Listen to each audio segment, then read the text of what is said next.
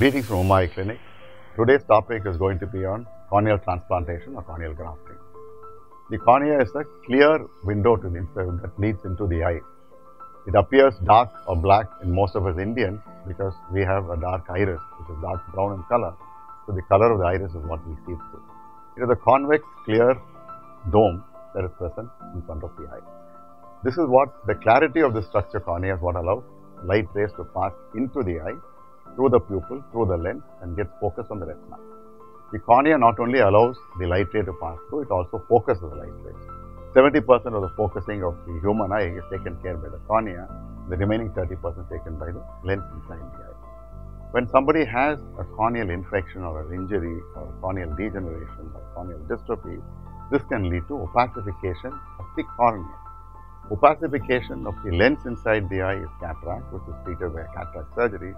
Opacification of the cornea is called corneal opacification, and this can lead to profound reduction in vision because the clarity of the cornea is paramount importance for clarity of vision.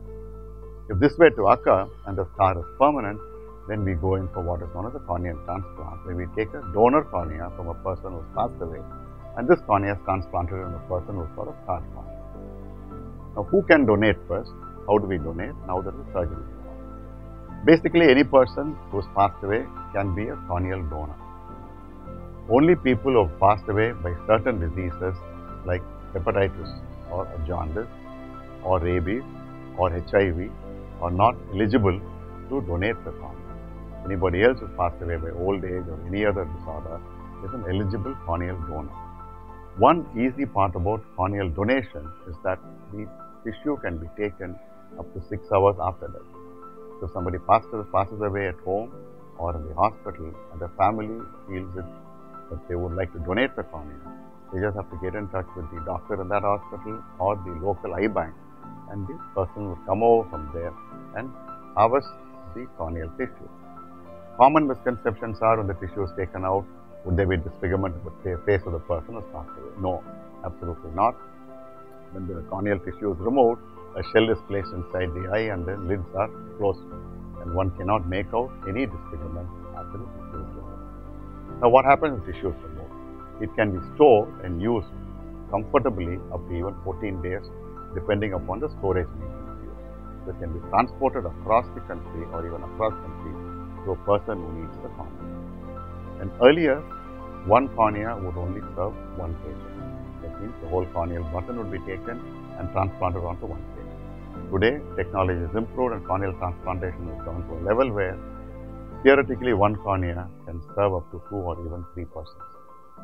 The tissue that is in the patient which is diseased, either the outer surface of the cornea or the inner surface of the cornea, alone can be replaced.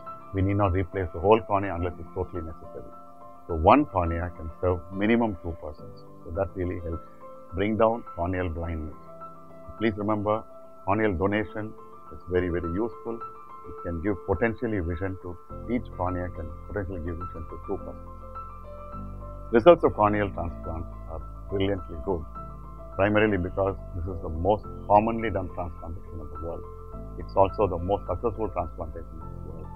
Corneal tissue does not have any blood vessels, and so the chances of rejection are very low. So it can theoretically occur, it does occur in a very rare condition. Rejections in corneal tissue are very rare because the cornea does not have blood vessels. So rejection process is very, very rare. But that can occur theoretically in rare cases. So the idea to understand corneal disorders which have got corneal scarring are eminently treatable by corneal transplantation. We have got doctors who are trained to do it. What we need is more donor tissues available. So keep this in mind whenever a person passes away, the biggest donation that person can make is to donate the cornea where it can give vision to four other people. If you have any doubts, write to us in our inbox and we'll get back to you.